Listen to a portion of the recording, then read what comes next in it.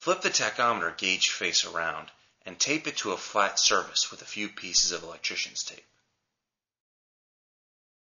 Place the tachometer centering ring on top of the gauge face with the cables pointing down. Center the ring by aligning the LEDs so they most completely cover the slots in the face. Do not deform the ring unless it covers some of the numbers. Once you are satisfied that the ring is properly centered, glue the ring to the surface of the gauge face. Use just enough glue to do the job. Too much, and it may bleed over the surface of the gauge face.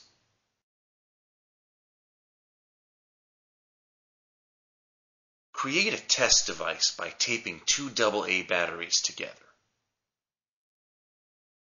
Make sure that the flat end on one battery is touching the tabbed end on the other battery.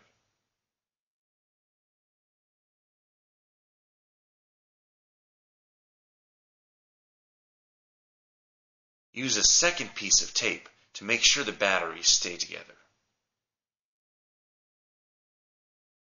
Then, tape a piece of thin wire to each end of the battery pack.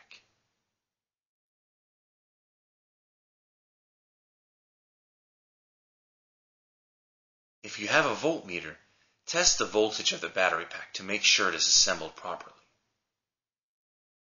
It should be approximately 2 to 3 volts.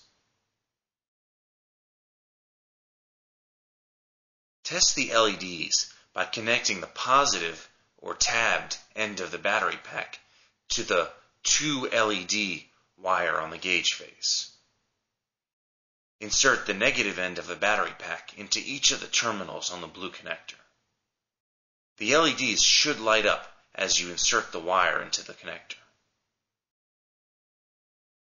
Tape the speedometer gauge face to your working surface and place the speedometer centering ring on top of the gauge face with the cables pointing down. Center the ring by aligning the LEDs so they most completely cover the slots in the face. Do not deform the ring unless it covers some of the numbers.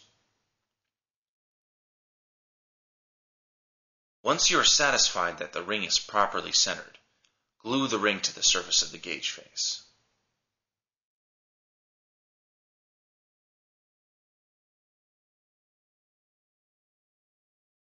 As you did with the tachometer LED ring, test the speedometer LED ring with your test device.